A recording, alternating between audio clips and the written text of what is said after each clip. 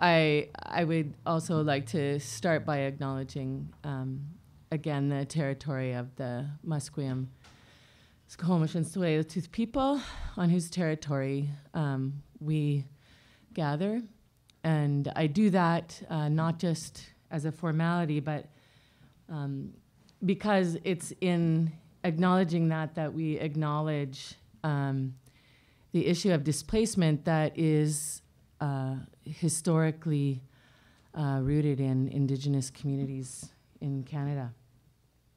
And um, I think uh, I wanted to just um, frame the things I talk about in that issue of displacement because the um, people that I'm most interested in uh, in this neighborhood are uh, people who are um, generally facing displacement uh, that is incredibly uh, difficult and, well, catastrophic for them, actually. Some people are displaced and uh, they just find another place to live. But, um, anyways, the, the people that I'm most interested are the people in this neighborhood um, who are the working poor, largely immigrant populations, homeless, and those living on fixed incomes or income assistance. And these people, as I said, are really familiar with displacement. Immigrant populations are coming from uh, experiences of displacement in their own countries. Uh, I'm not going to go into why they come here. Most of us here probably know that they don't come here by choice most of the time. And Grandview Woodlands has traditionally, historically, been a place of welcome for them. Um, uh, yeah, they're accepted here. People on fixed incomes or the working poor are often also people uh, displaced in society. Uh, there's little uh, acceptance in our society today for the fact that some folks, for some folks, work is actually not an option. Work as we know it is not an option. And um, Grandview has also been a place that they can afford to live.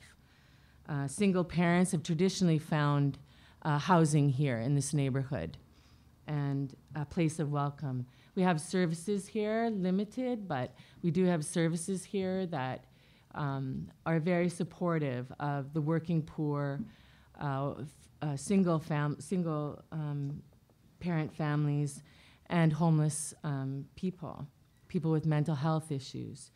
Uh, people at the Kettle do amazing work. Um, McDonald Elementary School, Britannia uh, um, High School, and Community Center it do amazing work here in this community. And, um, anyways, I, I feel like that is being gradually eroded.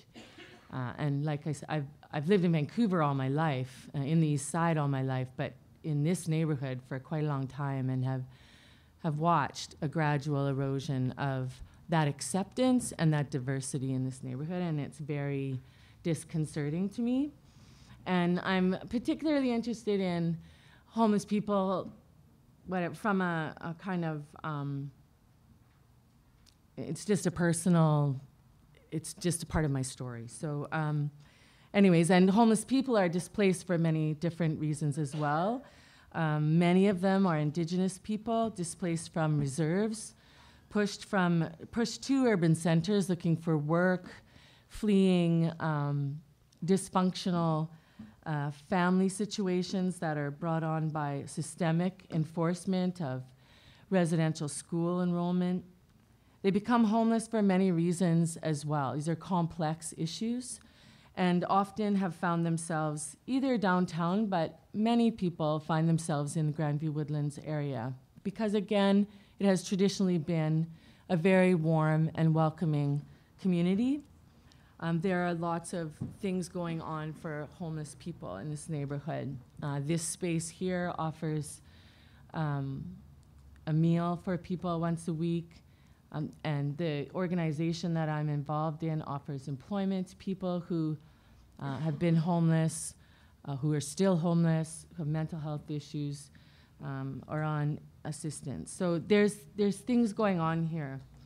Um, and, and my experience with people who are homeless, especially, has forced me to um, think outside of my uh, old internalized ideas about success and value uh, in communities. And um, I don't know if this is really the place for it, but I, you know, fi- feel like this the community plan that the city has presented to Grandview Woodlands is is a complete sham, and um, it will make uh, living in Grandview Woodlands a cool and uh, hip uh, experience. That's what I see it as. I don't really have a whole lot of time for it. Um, and I think that the folks uh, I know who have struggled to find affordable housing in this neighborhood, they, they really don't have a place here anymore. You can ask people who work at the kettle who have really struggled to find places for people to live. There, there's nowhere for them to live in this neighborhood.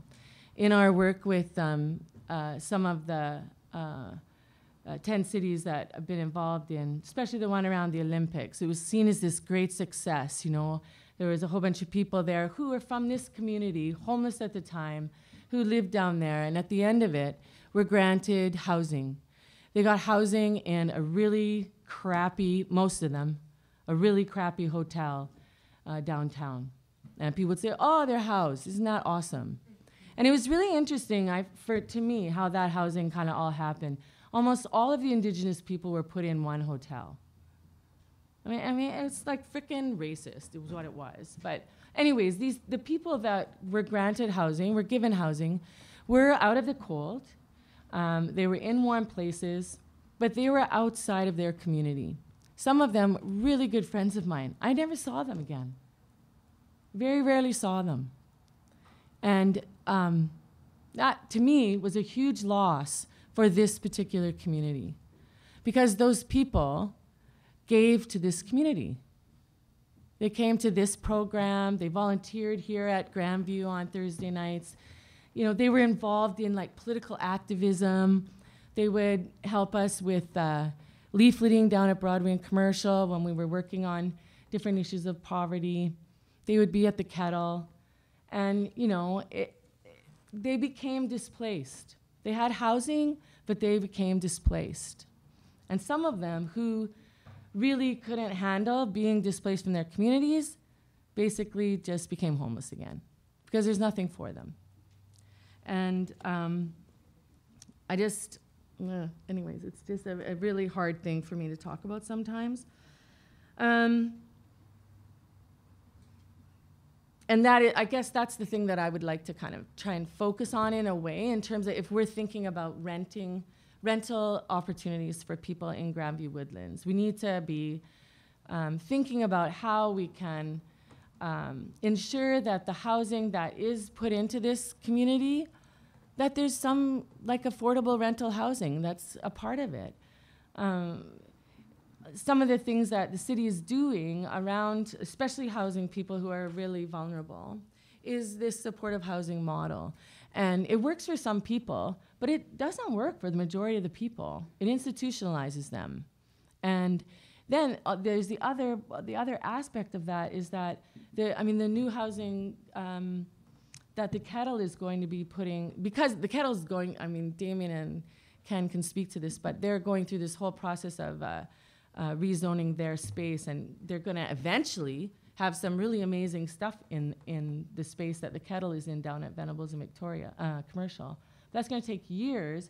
And so in the meantime, they're, they're going to be managing uh, a building down across from St. Paul's.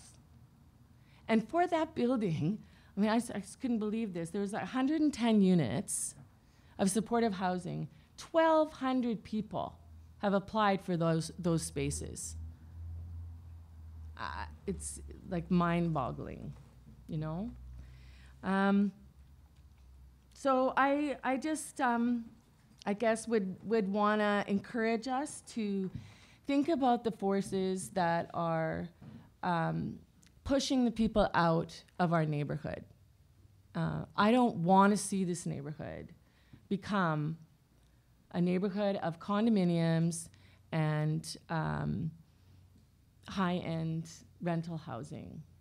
And uh, unfortunately, I feel like uh, homeowners in the neighborhood are really pushing the agenda on what's what's happening here. And so I would encourage uh, people who do rent to start um, organizing and speaking out. And I'm not so sure that to get involved in the housing plan, but maybe some people have energy for that. I don't don't have a whole lot of faith in it, but I don't know. I'm not sure what it would take, but um, I just wanted to express that um, these people uh, that uh, are are an integral part of the diversity of this community, the historical diversity of this community, are being pushed out, uh, systematically being pushed out. So, um, I just would say, just very briefly, the other part that I was supposed to talk about was shared housing, and um, this is another another thing that I I experience a lot of the, especially the young people who want to live in this neighborhood. They're, the only opportunities for them are living in uh, shared housing, which is actually illegal.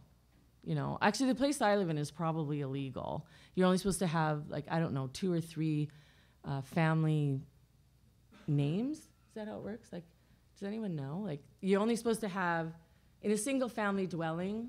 You're only supposed to have two different family names in a house, right? So, it, it makes it almost impossible legally for people to live together. I know, but there's some there's something. I don't know. Somebody needs to like. Anyways, that's been something that's been thrown at um, some of the projects we've done. It's like we're doing this illegally. So the other thing I'd like to say is that if if people could like start to support the initiatives of um, of people who are advocating for um, low income housing in the neighborhood, it was pretty interesting when um, Grandview, this community, uh, tried to um, get permits for the housing um, uh, project on the corner of Victoria, the resistance that we met in the community is pretty sad, like pretty sad.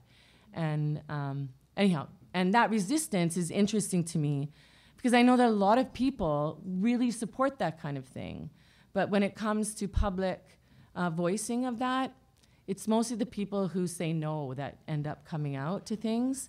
So I think if we, like with um, ideas around rental um, rights, if we could get together more and, um, yeah, figure out how to do that better, I think that would be really great.